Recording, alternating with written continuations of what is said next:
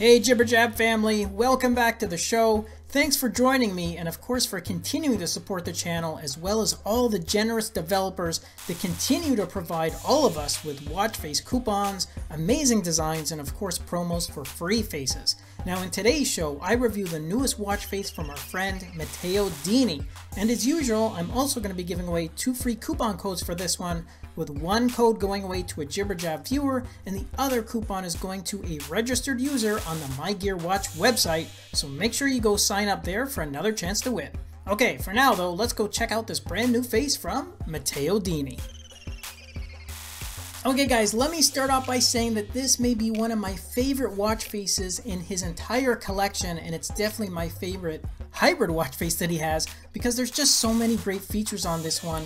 For example, I love that mix of the analog hands with that digital LCD panel there at the bottom. The contrasts are not only bold but colorful too, and you can change the background colors of that LCD panel as well as the background of the watch itself, and both can be done again independently of each other. And besides these themes, you'll also notice that there's lots of contrasting colors for the display text on some of those features, such as the floors climbed, the heart rate, and the step count indicator, and all the colors of the text here can also be changed independently of each other which means combined with the background and the LCD panel themes, gives you 36,000 different combinations to choose from, which is just awesome.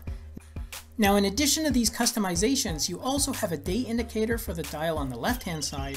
The digital time can be set in a 12 or 24 hour format, and you also have 7 preset app shortcuts as well as two custom app shortcuts which essentially enables you to assign any shortcut you want to those assigned locations, and those are actually represented as text at the top, and they're labeled as set 1 and set 2.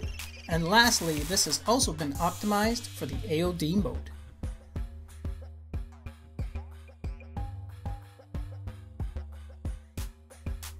And if you want more information on the watch face I reviewed today, then simply do a search in the Galaxy App Store under the name of this face, and I'm also including the full details in the video description.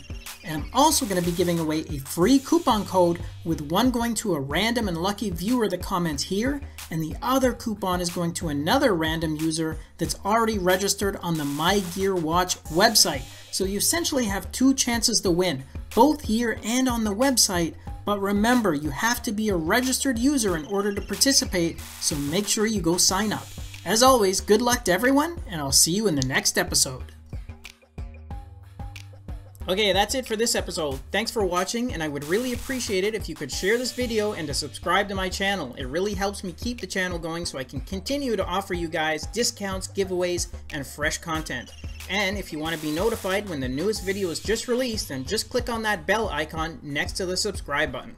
I'll see you in the next episode. Until then, take care.